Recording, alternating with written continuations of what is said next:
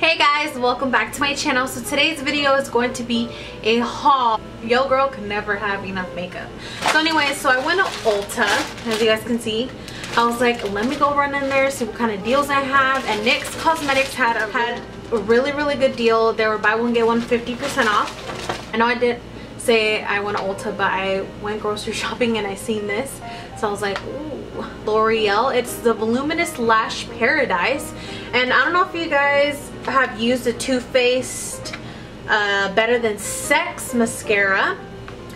But I heard this is in comparison to it. Sabrina Johnson, who is another YouTuber here on YouTube, she actually did a review on this and I'm like, ooh, I need to get my hands on this. So I picked it up and I was like, let me try it out. This is the Real Techniques Base and Finish Dual Extended Expert Sponge.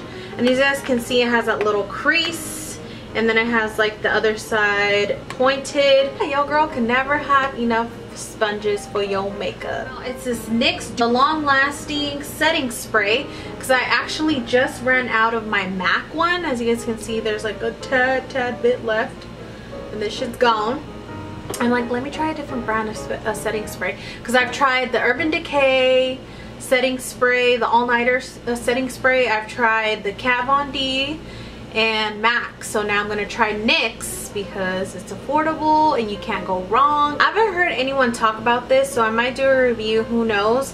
Thumbs up this video, guys, if you guys would like me to do a review on this. But I was like, let me see if this will do the job. Another NYX spray. This one is the first base primer.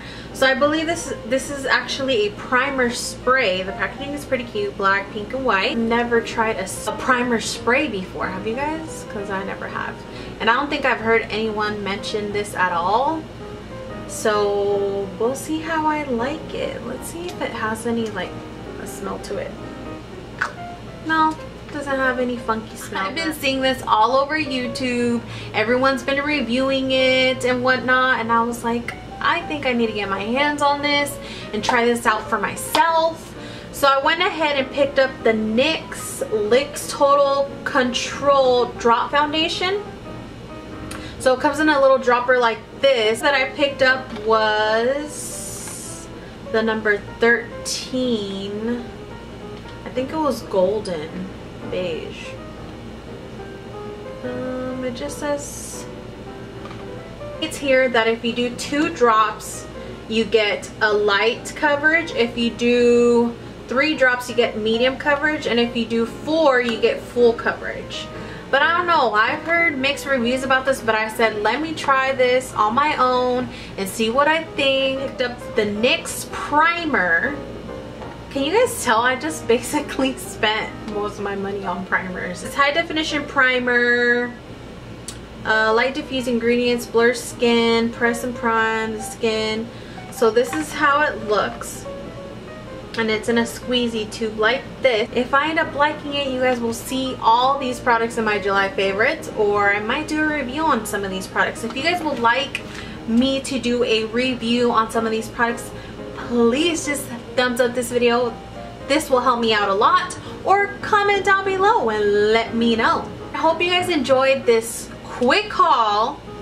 I just want to thank you guys so much for watching and those of you that are new to my channel, welcome.